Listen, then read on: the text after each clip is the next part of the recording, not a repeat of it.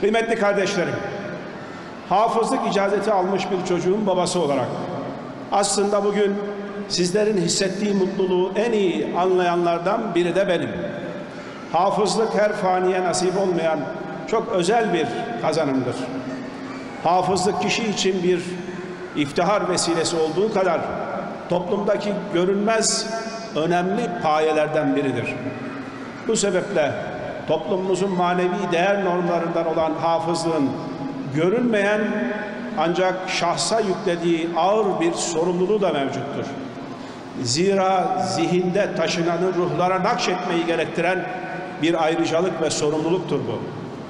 Peygamber Efendimiz Aleyhisselatü Vesselam'ın sizin en hayırlınız Kur'an'ı öğrenen ve öğretendir şiarıyla hareket ederek başta aileleriniz olmak üzere hayat boyu Kur'an-ı Kerim'in ışığıyla hem aydınlanmaya hem de çevrenizi aydınlatmaya devam edeceksiniz inşallah. Değerli misafirler, sevgili gençler, hafızlık çok kıymetli bir mazhariyettir. Şüphesiz yoğun bir gayretin, çalışmanın sonucudur. Ancak Cenab-ı Hakk'ın bir lütfu, bir ikramıdır. Kur'an'ı ezberlemek azmiyle ona yaklaşanlara Cenab-ı Hak çok daha büyük kolaylıklarla yaklaşmakta, imkanlar nasip etmektedir. Aziz milletimiz hafızlığa çok büyük kıymet vermektedir. Tarih boyunca hafızlar toplumumuzun en itibarlı insanları olmuştur. Milletimiz her şart altında, her türlü zorluklar içinde hafızlar yetiştirmeyi bir vazife olarak görmüştür. Zaten İslam'ı diğer semavi dinlerden ayıran en önemli vasıf dinin ilk ve en temel metni olan Kur'an'ın vahiy ile geldiği, nazil olduğu şekilde muhafaza edilmiş olmasıdır. Bu sadece bir bizlerin, Müslümanların inancı meselesi değildir. Bu bir tarihi hakikattır. Hiçbir metne, yazılı metne, sözlü metne nasip olmayan bir mazhariyet Kur'an-ı Kerim için vardır. Kur'an'ın muhafazası Diyanet İşleri Başkanımız da ifade ettiler. İki şekilde gerçekleşmeye başlamıştır ilk nazil olduğu andan itibaren. Birincisi hafızlardır, hafızlıktır. Nazil olan her ayet, her sure ashabın önemli bir kısmı tarafından ezberlenmiştir. İkinci olarak da Peygamber Efendimiz Aleyhisselatü Vesselam nazil olan her ayeti ayrı ayrı vahiy katipleri olarak isimlendirilen görevlerine yazdırmıştır. Kur'an hem satırlarda hem ise sudurda yani hafızalarda kayıtlıdır. Nesilden nesile bu şekilde aktarılmıştır. Modern dönemlerde eğitim öğretim hayatının farklı bir şekilde programlanmasıyla beraber hafızlık yapmak bazı sınırlamalarla karşılaşmıştır. Malum bir okul hayatı var. O hayata devam etmek icap ediyor.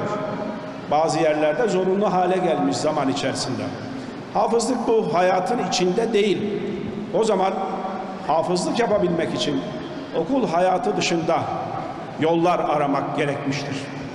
Bilhassa okul hayatını, okul başarısını önemseyen aileler çok arzu etmelerine rağmen çocuklarını hafızlık için okuldan ayırıp başka bir yere gönderemiyorlardı. Okul başarısı olan çocuklar hafızlık hayatından mahrum kalıyorlardı.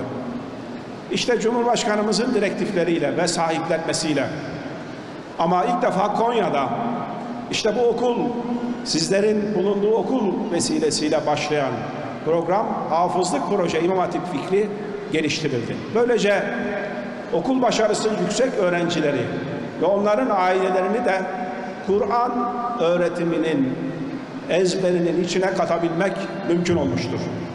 Okul hayatıyla hafızlık birlikte yürütülmeye başlanmıştır. Bu çocuklarımız için, aileler için, milletimiz için büyük bir nimettir. Ancak sadece çocuklarımız için değil elbette.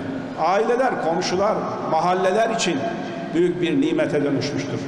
Malumunuz çocuklar Kur'an okurken çoğu zaman evlerinde çalışıyorlar. Çoğu yerde yatılı değiller. Evlerde yüksek sesle Kur'an okunuyor. Kur'an sesi hafızlık yapılan, hafızlık çalışılan evlerde daima 24 saat yankılanıyor. Çocuklarımızı anneleri, babaları, ablaları, abileri ezberlerini dinlemek suretiyle yetiştirmeye çalışıyorlar. Ezberlerini kontrol ediyorlar. Evler Kur'an sesiyle bereketleniyor.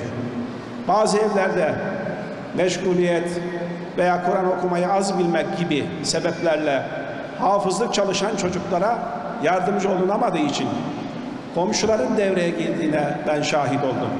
Komşu teyzeler, amcalar, ablalar, abiler, apartmanlarda Kur'an sesi, sokaklarda, mahallelerde Kur'an sesi. Bu bizim gördüğümüzden, göründüğünden çok büyük bir hizmet ve bir berekettir memleketimiz için. Bu güzel projeye öncülük eden ve kararlılığıyla bu projenin gelişmesine vesile olan Sayın Cumhurbaşkanımız başta olmak üzere bakanlarımızdan, müsteşarlarımızdan, emeği olan bütün bürokratlarımızdan Allah razı olsun. Bu büyük nimetin kıymetini bilelim. Evet bitti. Nereye